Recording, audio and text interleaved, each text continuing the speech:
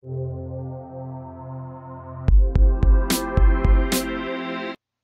guys, what's up? It's Umar Farooq here, Tryon League, and uh, I just finished watching the Bulls at Heat's game, and man, it was fun, and it's especially really good for me because the Bulls, you know, they're my home team, and they defeated the Heat, ending the 27 game win streak. I mean, this game was really, just really crazy. A lot of crazy stuff happened.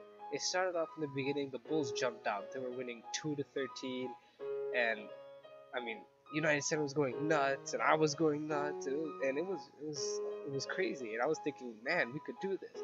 And then you know the Heat start coming back, and then like you start remembering all those times that the Heat came came back in, in this during this win streak, like against the Cavs when they came back. I think it was by like 25 points or something in the third quarter. But you know the Bulls staying ahead, staying ahead, and then in the third quarter, the Bulls just get cold. I mean like they scored three points in half a quarter, and the Heat came back and they actually took the lead.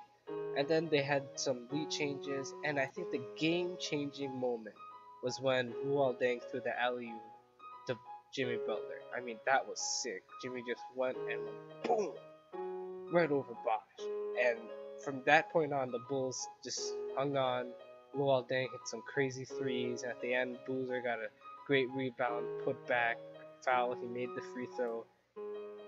So and you know, Bulls won. So the Heat win streak ends at 27, and I mean, Heat are, the Heat are still like amazing. So this doesn't really affect them at all. But great win for the Bulls without Derrick Rose, Joakim Noah, Richard Hamilton, Marco Belinelli. I mean, they were they were shorthanded and they won. So and I mean, great, great game. Carlos Boozer had 21-17. Luol Deng had 28.7 rebounds. So it's just great overall team effort by the Bulls. So the Bulls right now they're in the fifth seed in the East, and Miami is obviously way ahead of everyone. Um, in the Miami's like way ahead of uh, everyone in the Eastern Conference. So I mean, this could potentially be a first, uh, like a, a second round playoff matchup between the Bulls and the Heat if the Bulls can get out of the first round and if the Heat can uh, get if the Heat can get out of the first round, which they probably will. I mean, this can be a really good semi semifinals. And I'm telling you, and if Der- I mean if Derrick Rose is there, then that will be even better. So hopefully we'll get that in the playoffs. Heat streak has ended.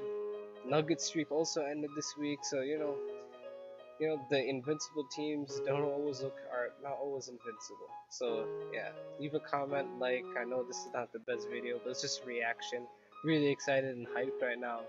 So follow us on twitter too at tryon league.